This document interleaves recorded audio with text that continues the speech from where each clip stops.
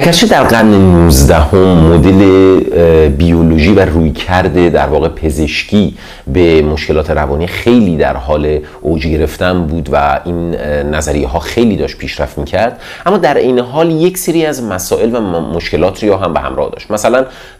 درمانگرها اون موقع می‌دیدن که خیلی از بیماری هایی رو که در روان انسان ها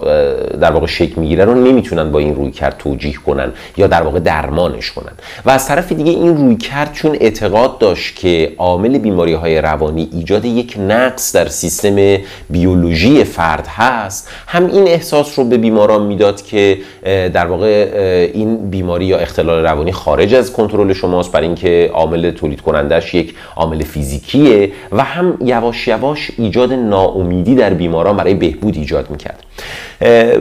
به, به،, به طوری که مثلا شارکو در اون موقع در فرانسه دید خیلی از بیماری ها هستن که با این روی کرد قابل درمان نیستن. به عنوان مثال بیماری هیستریا یا فلج هایی که بدون علت در بیماران شکل می گرفت وقتی که فرد رو دچار درمان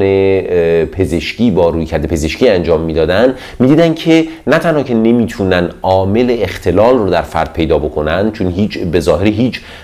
قسمتی از مغز فرد یا فیزیک فرد دچار اختلال فیزیکی نشده بود. علاوه بر اون حتی نمی‌تونن با تجویز دارو یا یه سری از در واقع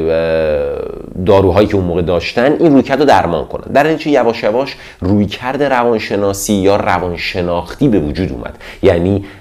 این اعتقاد رو پیدا کردن که احتمالا بیماری های روانی در به واسطه ایجاد یک اختلال و یا یک کمبود و یا یک عدم تعادل در مکانیزم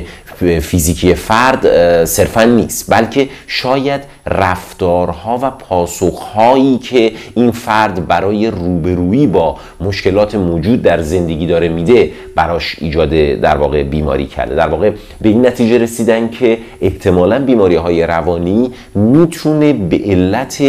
در واقع همون کارکردهای معمولی باشه که در زندگی عادی جاری داره. و وقتی این کارکردها دوچار ایراد میشه بیماری شکل می‌گیره و صرفا یک عامل فیزیکی می‌تونه در واقع ریشه در بیماری های پزشکی در بیماری های روانی نداشته باشه.